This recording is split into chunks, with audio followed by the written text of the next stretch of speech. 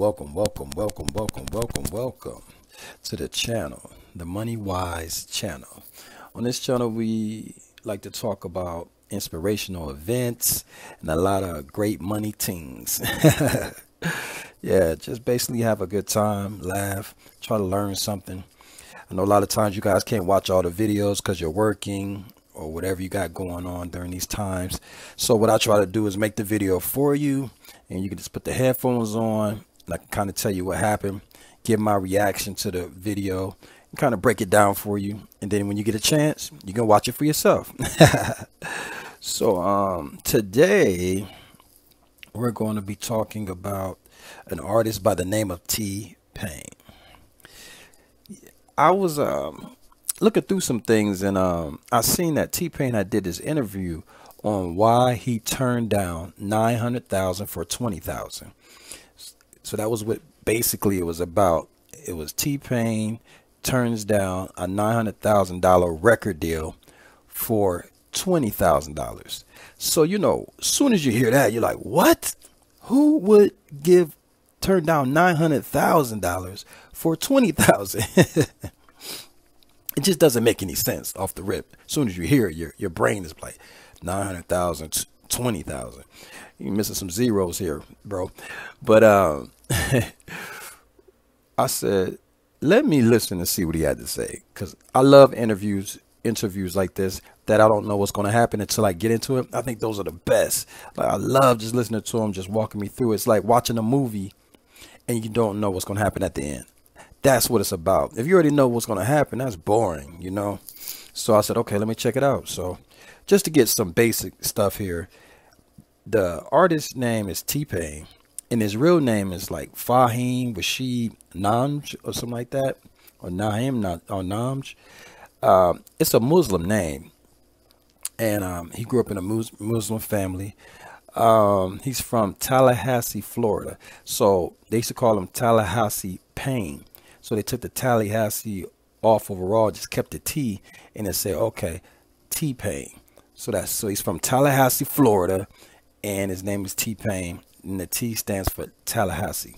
So, um, basically, his dad was his manager. You know, like I said, they're Muslim and a close together family, really uh, rock together. Uh, he's respectful of his father, and he always did what his father asked him to do, which is very important to the story. So, um, great relationship they had. Um, T Pain's career started before the big social network presence and big things of that of you being able to blow yourself up and distribute yourself through the internet. Is he's he's before that time you know i would say. He he was doing what they call the hard way. You know he had to really deal with people hand to hand combat as they say.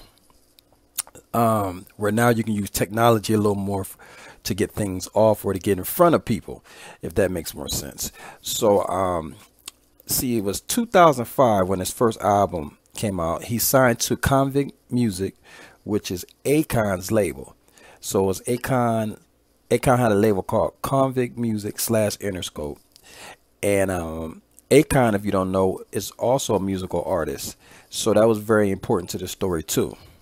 So, also was important to know at this particular time, T Pain is very poor not just regular. Like he's really, really poor at this time. Like he's really going through it. It's not a good time for him. So during this time, because I want to make sure we're clear on that, so we understand this whole 900,000, 20,000 thing. This is important. He's very poor. He's going through. It's kind of it's kind of like when you hear the story about LeBron. He's getting offered millions of dollars, but he's going back home to the projects. I think that was what Master P million dollars offered goes back to the projects. This is someone looking for a bigger situation because they know they have more to offer. So you have to believe in yourself early. So this is kind of the same story with T Pain. So during this time, he said he didn't even have any electric on. You know, he said he was running his actual makeshift studio off of a generator that's outside that it couldn't run all night because it made too much noise. and he would get in trouble by the police. So they had to run it during the day, work real hard, try to record records because they had no electric in the house or lights. I would say that's a person that really needs money at that point. Um, food was low, bills was not paid. Um, so we would agree that money was very important at this point in his life. He has love, he has his family, he has all that, but he doesn't have any money. You know, it's he also said that with the deals that they had on the table, that they didn't even have gas. They was trying to put money together to get gas just to get to the airport, just to have the meeting. so this is how bad it was. But his talent was giving him a chance. T Pain during this time was offered $900,000 from Interscope Records, and he was also offered $700,000 from Atlantic Records. This is six figures from both of these uh, big corporations, and this is a guy in the hood with no electric on. This is very deep. So during this time, he's about to make a decision and clearly take the 900,000 over the 700,000 for his signing bonus so he can move forward with his uh, his his single deal.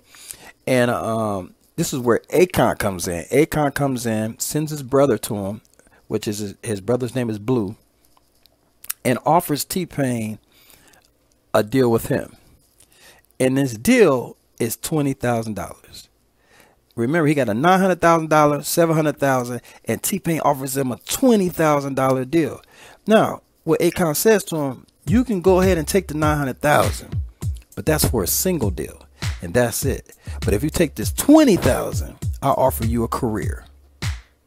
That's very important. Akon said you can take the nine hundred thousand, and that's a single. That's one song. That's a hit or miss, whatever it's going to be. You're done. But if you take this 20,000 and sign with my boutique label that is connected to the machine, which is Interscope, I will offer you a career because we would do a whole album on you. T-Pain thought about it.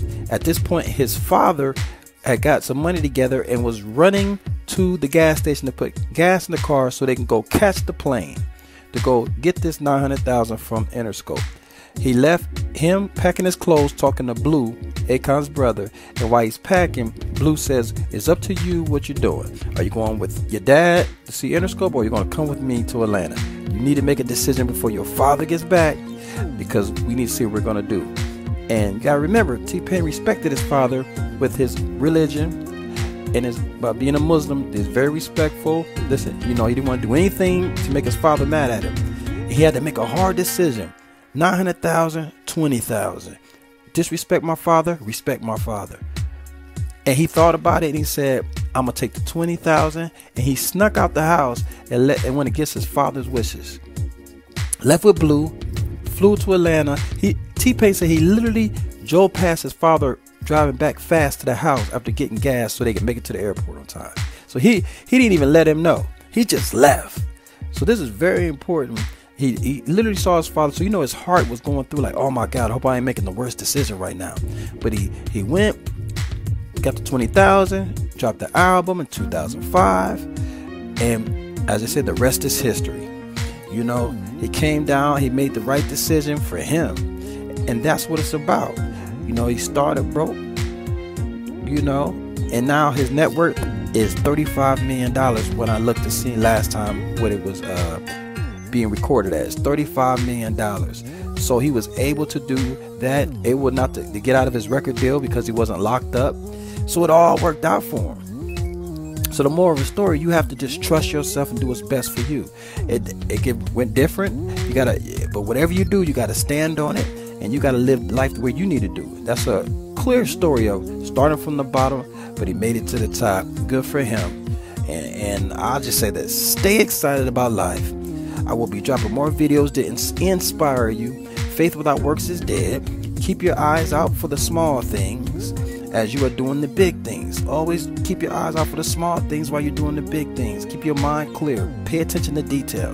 Like and subscribe to the MoneyWise channel for more wisdom in the future. And remember, the plans change, but the goals stay the same. Like and subscribe. I'll see you in the next video. yep.